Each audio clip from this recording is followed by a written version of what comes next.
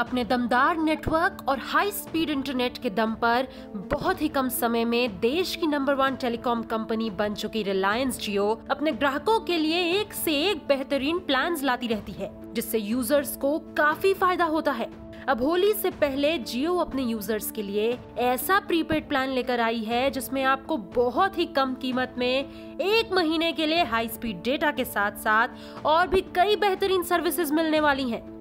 जियो अपने यूज़र्स के लिए सबसे सस्ता कॉम्बो प्लान लेकर आई है, जिसकी कीमत सिर्फ़ पचहत्तर रूपए है, जिसमें कंपनी आपको 28 दिन के लिए तीन जीबी डेटा और मुफ़्त कॉलिंग दे रही है।